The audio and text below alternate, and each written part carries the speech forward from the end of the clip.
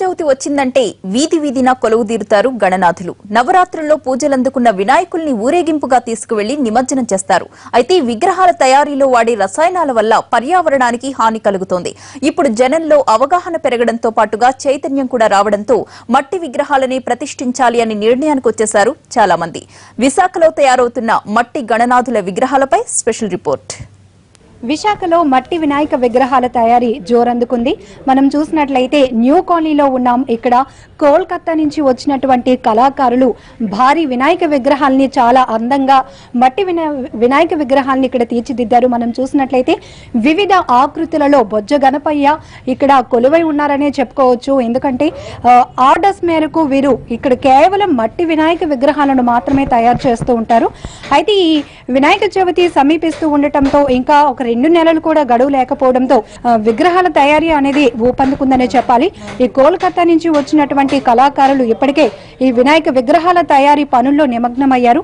మనం చూసినట్లయితే పదిహేను మంది ఇక్కడ కళాకారులు వచ్చి పని చేస్తున్నారు. ఆయా ఆర్డర్స్ ప్రకారం భారీ మట్టి వినాయక విగ్రహాల్ని పది నుంచి పన్నెండు పదమూడు పద్నాలుగు అడుగుల భారీ గణనాథులు కూడా ఇక్కడ వీరు తయారు చేయడం జరుగుతుంది.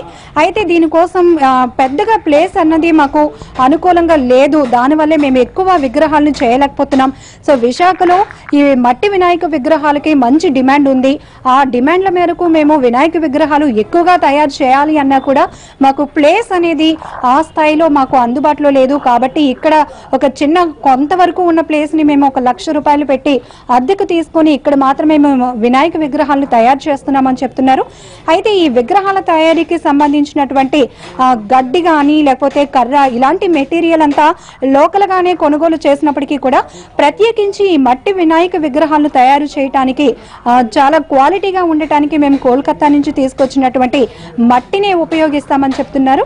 అలాగే వినాయక విగ్రహాలు పూర్తిగా ఒక ఫైనల్ టచ్కి వచ్చిన తర్వాత వీటిని అందంగా అలంకరించడానికి కావాల్సినటువంటి జ్యువెలరీ ఆర్నమెంట్స్ అన్ని కూడా కలకత్తా నుంచి తీసుకొచ్చిన వాటినే మేము ఉపయోగిస్తాం.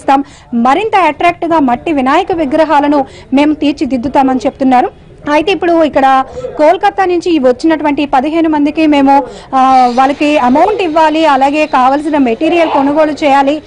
వీటన్నిటికీ తగ్గట్టు ఆర్డర్స్ కూడా వస్తున్నప్పటికీ కూడా కొన్ని ఒక ఒక అరవై డెబ్బై విగ్రహాలు మాత్రమే ఈ మూడు నెలల వ్యవధిలో తయారు చేయగలుగుతున్నాం. అందువల్ల మాకు పెద్దగా లాభం కూడా ఉండటం లేదని చెప్పి ఇక్కడ క- ఎవరైతే నిర్వాహకులు ఉన్నారో వాళ్ళు చెప్తున్నారు. మొత్తానికి గనక విశాఖలో ఉన్నటువంటి ఒక అవేర్నెస్ అనేది మట్టి వినాయక విగ్రహాల వైపు ప్రతి ఒక్కరిని కూడా ఆసక్తి చూపుతుంది. ఇంతకు ముందు అయితే ప్లాస్టర్ ఆఫ్ ప్యారిస్ విగ్రహాలు వాడటం వల్ల ఎక్కువగా పొల్యూషన్ అయిపోయేది.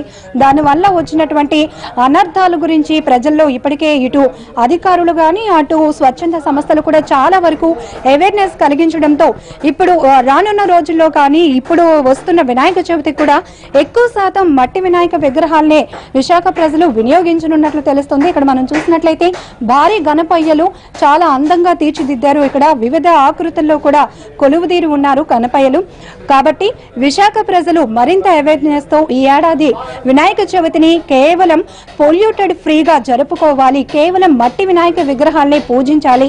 ఆ గణపయ్యకు ఘనంగా నిమజ్జనం చేయాలని చెప్పేసి కోరుకుంటున్నారు. కెమెరా పర్సన్ శివతో లక్ష్మి ఎన్టీవీ వైజాగ్.